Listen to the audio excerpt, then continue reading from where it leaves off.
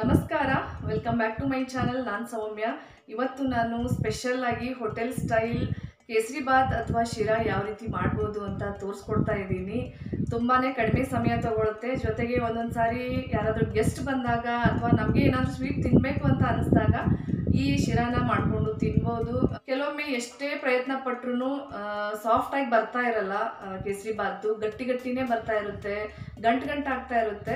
So ಇವತ್ತು ನಾನು ತೋರಿಸ್ಕೊಡ್ತಾ ಇರುವಂಥ ಮೆಥಡ್ನ ನೀವು ಫಾಲೋ ಮಾಡಿದರೆ ಆರಾಮಾಗಿ ಹೋಟೆಲ್ ಸ್ಟೈಲ್ ಕೇಸರಿ ಬಾತ್ನ ಮನೆಯಲ್ಲೇ ತಿನ್ಬೋದು. ತುಂಬಾ ಸಾಫ್ಟಾಗಿ ಬರುತ್ತೆ. ಜೊತೆಗೆ ಕಡಿಮೆ ಟೈಮ್ನ ತಗೊಳ್ಳೋದ್ರಿಂದ ಕಡಿಮೆ ಸಮಯದಲ್ಲೇ ನಾವು ಈ ಶಿರಾನ ಮಾಡ್ಕೋಬೋದು. ಬನ್ನಿ, ಹಾಗಾದರೆ ತಡ ಮಾಡೋದು ಬೇಡ. ಈ ಕೇಸರಿ ಬಾತ್ ಮಾಡೋದಕ್ಕೆ ಏನೇನು ಇಂಗ್ರೀಡಿಯೆಂಟ್ಸ್ ಬೇಕು, ಯಾವ ರೀತಿ ಮಾಡೋದು ಅಂತ ನೋಡೋದಕ್ಕಿಂತ ಮುಂಚೆ ನನ್ನ ಚಾನಲ್ನ ಯಾರಾದರೂ ಫಸ್ಟ್ ಟೈಮ್ ನೋಡ್ತಾ ಇದ್ರೆ ಸಬ್ಸ್ಕ್ರೈಬ್ ಮಾಡ್ಕೊಳ್ಳೋದನ್ನ ಮರಿಬೇಡಿ. ಯಾಕಂದರೆ ನಾನು ಯಾವುದೇ ರೆಸಿಪಿನ ಅಪ್ಲೋಡ್ ಮಾಡಿದರೆ ನಿಮಗೆ ನೋಟಿಫಿಕೇಶನ್ ಬೇಗ ಬಂದು ತಲುಪುತ್ತೆ. ಹಾಗೆ ನಿಮ್ಮ ಫ್ರೆಂಡ್ಸ್ ಆ್ಯಂಡ್ ಫ್ಯಾಮಿಲಿ ಜೊತೆ ಶೇರ್ ಮಾಡ್ಕೊಳ್ಳಿ. ಇದರಿಂದ ನನಗೂ ಕೂಡ ಪ್ರೋತ್ಸಾಹ ಸಿಗುತ್ತೆ. ಇನ್ನೂ ಒಳ್ಳೊಳ್ಳೆ ಹೆಚ್ಚಿನ ರೆಸಿಪೀಸ್ನ ಮಾಡೋದಕ್ಕೆ.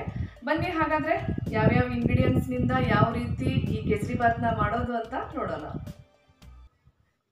ಫಸ್ಟು ನಾನು ಪ್ಯಾನ್ಗೆ ಮೂರು ಚಮಚ ತುಪ್ಪ ಹಾಕ್ತಾ ಇದ್ದೀನಿ.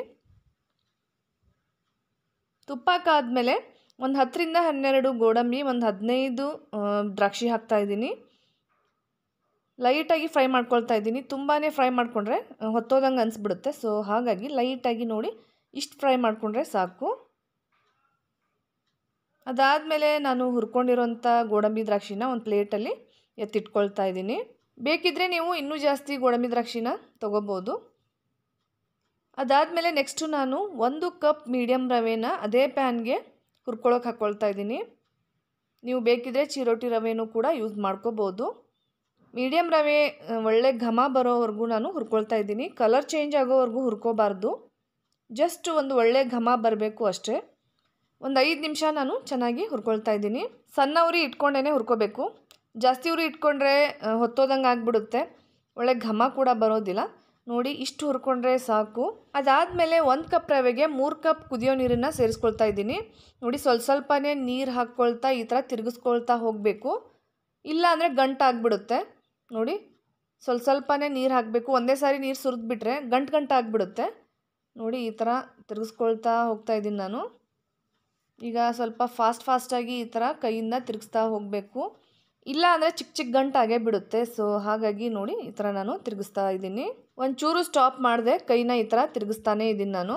ಒಂದೆರಡು ನಿಮಿಷ ಆದಮೇಲೆ ರವೆ ಮತ್ತು ನೀರು ಚೆನ್ನಾಗಿ ಮಿಕ್ಸ್ ಆಗಿದೆ ನೋಡಿ. ಒಂಚೂರು ಗಂಟಾಗಿಲ್ಲ ರವೆ ನೀರಿನ ಅಂಶನೆಲ್ಲ ಚೆನ್ನಾಗಿ ಹಿರ್ಕೊಂಡಿದೆ.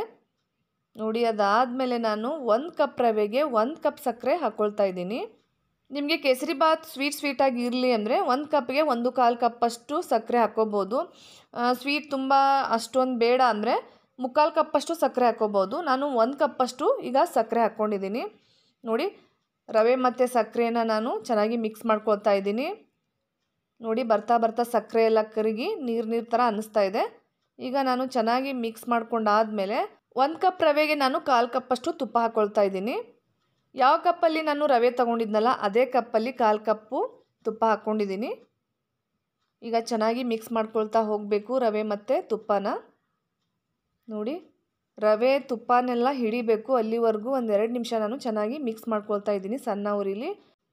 ರವೆ ಜೊತೆ ತುಪ್ಪ ಚೆನ್ನಾಗಿ ಮಿಕ್ಸ್ ಆಯಿತು ನೋಡಿ, ನಾವು ತುಪ್ಪ ಹಾಕಿದ್ದೀವೋ ಇಲ್ಲವೋ ಅನ್ನೋ ಥರ ಅನ್ನಿಸ್ತಾ ಇದೆ. ಅದಾದಮೇಲೆ ನೆಕ್ಸ್ಟು ನಾನು ಒಂದು ಐದು ನಿಮಿಷ ಸಣ್ಣ ಉರಿಲಿ ಕ್ಲೋಸ್ ಮಾಡಿ ಬೇಯೋಕೆ ಬಿಡ್ತಾ ಇದ್ದೀನಿ. ನೋಡಿ, ಐದು ನಿಮಿಷ ಆಯ್ತು ಈಗ. ರವೆ ಯಾವ ಥರ ಬೆಂದಿದೆ ಅಂತ ನೋಡೋಣ ಬನ್ನಿ. ನೋಡಿ, ಒಳ್ಳೆ ಘಮ ಬರ್ತಾಯಿತ್ತು ತುಪ್ಪದ್ದು. ಈಗ ನೋಡಿ, ಚೆನ್ನಾಗಿ ಬೆಂದಿತ್ತು ರವೆ ತುಪ್ಪದ ಜೊತೆ. ಒಳ್ಳೆ ಬೆಣ್ಣೆ ಥರ ಅನ್ನಿಸ್ತಾ ಇತ್ತು, ಅಷ್ಟು ಸಾಫ್ಟ್ ಆಗಿತ್ತು.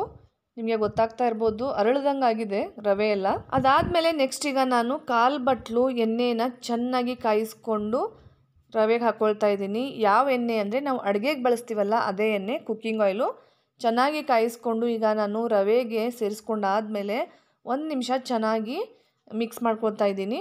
ನೀವು ಎಣ್ಣೆನ ಬಿಸಿ ಮಾಡದೆ ಹಾಕಬಾರ್ದು. ಬಿಸಿ ಮಾಡಿಕೊಂಡೇ ಹಾಕಬೇಕು.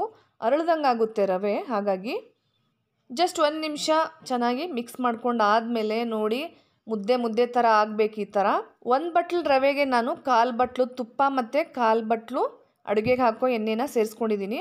ಅದಾದಮೇಲೆ ನೆಕ್ಸ್ಟು ನಾನು ಎರಡು ಏಲಕ್ಕಿನ ಪುಡಿ ಮಾಡಿ ಸೇರಿಸ್ಕೊಂಡಿದ್ದೀನಿ. ಅದಾದಮೇಲೆ ಎರಡರಿಂದ ಮೂರು ಚಿಟಿಕೆ ನಾನು ಫುಡ್ ಕಲರ್ನ ಸೇರಿಸ್ಕೊಂಡಿದ್ದೀನಿ ಲೆಮನ್ ಎಲ್ಲೋನ ನೆಕ್ಸ್ಟ್ ನಾನು ಆಲ್ರೆಡಿ ತುಪ್ಪದಲ್ಲಿ ಕರೆದಿಟ್ಕೊಂಡಿರುವಂಥ ಗೋಡಂಬಿ ದ್ರಾಕ್ಷಿನ ಸೇರಿಸ್ಕೊಳ್ತಾ ಇದ್ದೀನಿ. ಈಗ ಫೈನಲ್ ಆಗಿ ಎಲ್ಲ ಇಂಗ್ರೀಡಿಯೆಂಟ್ಸ್ನು ನಾನು ಚೆನ್ನಾಗಿ ಮಿಕ್ಸ್ ಮಾಡ್ಕೊಳ್ತಾ ಇದ್ದೀನಿ. ಯಾವಾಗಲಾದರೂ ಸ್ವೀಟ್ ತಿನ್ನಬೇಕು ಅಂತ ಅನ್ನಿಸ್ದಾಗ ಪಟ್ ಅಂತ ಮಾಡ್ಕೊಂಬಿಡ್ಬೋದು ಎಲ್ಲ ಇಂಗ್ರೀಡಿಯೆಂಟ್ಸ್ ಮನೇಲಿ ಇದ್ದೇ ಇರುತ್ತೆ. ನೋಡಿ ಚೆನ್ನಾಗಿ ಮಿಕ್ಸ್ ಮಾಡ್ಕೊಂಡು ಆದಮೇಲೆ ಒಳ್ಳೆ ಕಲರ್ ಬಂದಿದೆ ಕೇಸರಿ ಬಾತ್ಗೆ ನಾವು ಹೊರಗಡೆ ಎಲ್ಲ ತಿಂತೀವಲ್ಲ ಅದೇ ಥರ ಅನ್ನಿಸ್ತಾ ಇದೆ. ನೆಕ್ಸ್ಟ್ ಈಗ ನಾನು ಒಂದರಿಂದ ಎರಡು ನಿಮಿಷ ಮೀಡಿಯಮ್ ಊರಿಲಿ ರವೆನ ಚೆನ್ನಾಗಿ ಬೇಯಿಸ್ಕೊಳ್ತಾ ಇದ್ದೀನಿ. ಇದರಿಂದ ಕೇಸರಿ ಬಾತ್ ಅರಳ್ದಂಗೆ ಅನಿಸುತ್ತೆ, ಹಾಗಾಗಿ ಈಗ ಒಂದೆರಡು ನಿಮಿಷ ಆದಮೇಲೆ ನೋಡಿ ಕೇಸರಿ ಬಾತ್ ಯಾವ ರೀತಿ ಬಂದಿದೆ ಅಂತ ತೋರಿಸ್ತೀನಿ ನಾನು ನಿಮಗೆ. ನೋಡಿ ಒಳ್ಳೆ ಬೆನ್ನೆ ಮುಟ್ಟಿದಂಗೆ ಅನ್ನಿಸ್ತಾ ಇತ್ತು. ಅಷ್ಟು ಚೆನ್ನಾಗಿ ಬಂದಿದೆ. ನಿಮಗೆ ಇಲ್ಲಿ ಗೊತ್ತಾಗ್ತಾ ಇರ್ಬೋದು.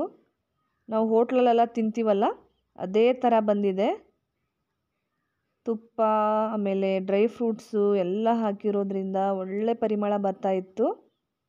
ಜಸ್ಟ್ ಹತ್ತರಿಂದ ಹದಿನೈದು ನಿಮಿಷದಲ್ಲಿ ಆಗುವಂಥ ಸ್ವೀಟ್ ಇದು. ಮನೆಯಲ್ಲಿ ಮಕ್ಕಳು ಕೂಡ ತುಂಬಾ ಇಷ್ಟಪಡ್ತಾರೆ. ಗೆಸ್ಟ್ ಬಂದಾಗಲೂ ಕೂಡ ಏನು ಪ್ಲ್ಯಾನಿಂಗ್ ಇಲ್ಲದೆ ಇದ್ದಾಗ ಈ ಸ್ವೀಟನ್ನು ಮಾಡಿಕೊಡ್ಬೋದು.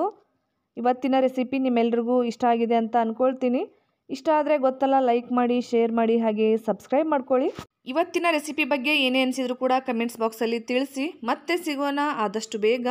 ಮತ್ತಷ್ಟು ಹೊಸ ಈಸಿ ರೆಸಿಪಿಗಳ ಜೊತೆ ಅಲ್ಲಿವರೆಗೂ ಎಲ್ಲರಿಗೂ ನಮಸ್ಕಾರ ಥ್ಯಾಂಕ್ ಯು ಧನ್ಯವಾದ.